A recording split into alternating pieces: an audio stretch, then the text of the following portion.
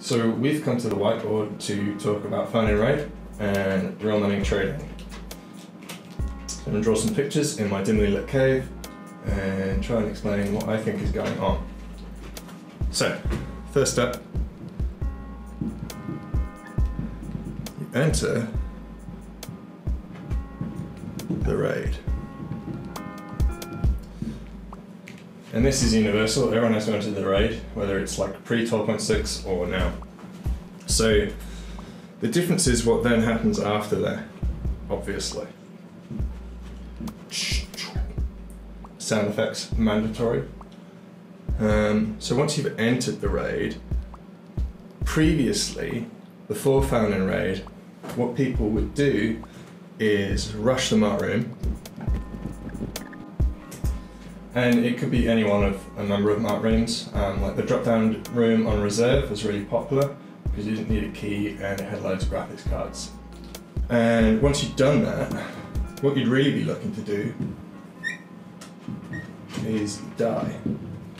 Just as quickly as possible, you wanted to end your life. So quite often you would get like those hackers running up to you um, so that you would shoot them um, and they'd just be hatchlings. They wouldn't have any other gear, and the only reason they want to do that is because then, having stuffed everything from this mark room into their prison wallet, they could trade it.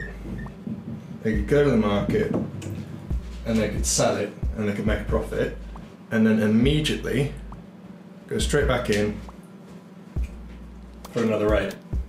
And they could do this really, really quickly. And though you couldn't carry that much stuff in your prison wallet, in your gamma or your kappa or whatever, it didn't matter because you could do it so quickly and you could go to high value rooms. You didn't need gear, you didn't need any of that. So that's what people used to do. Um, I guess the difference now is because of found in raid. So people do still rush mark rooms, but they tend to do one or more, and they tend to do more of a loot circuit because they're spending more time in the raid. And what they're trying to do is fill their bags. Like they're they're going in with full kit and actually like filling their backpack, filling their uh, vest, their assault vest, plate carrier, whatever it may be, with as much gear as they can carry. And that means that they spend more time in raid. Because the thing is, they can't just go straight to trade anymore. They must extract. And because they must extract, it's worth their while to fill the bag. And because they have to fill the bag, that means that we get hackers who are spending much more time in raid than they did previously. So I'm not sure that um, there are actually more hackers. There may even be less hackers.